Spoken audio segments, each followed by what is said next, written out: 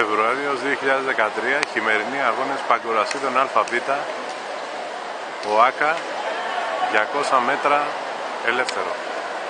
Η Ιωάννα στη διαδρομή 4. Η Ιωάννα στο 4, η Γκιόνι στο 5, η Δάντου στο 7, η Τζόγκρη στο 3.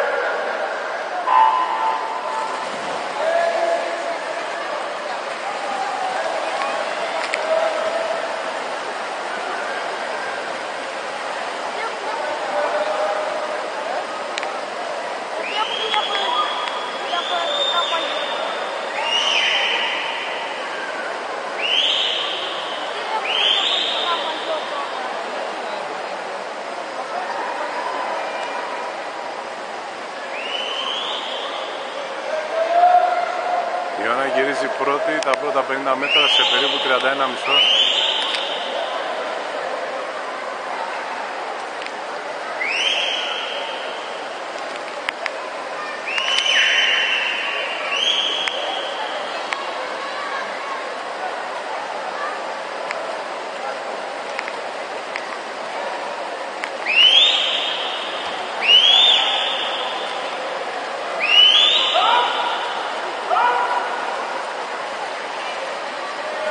γυρίζει πρώτη τα 100 μέτρα σε ένα 4.58-48.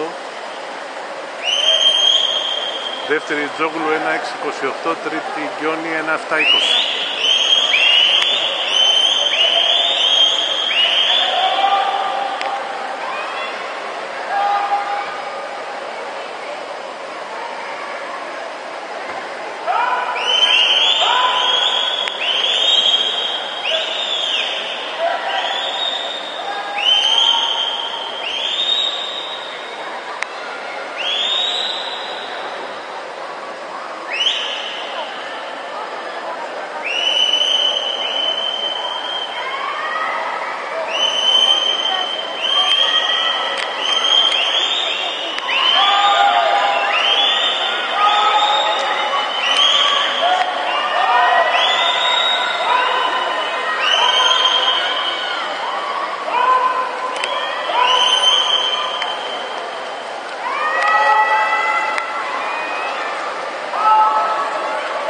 τερματίζει πρώτη και κάνει 2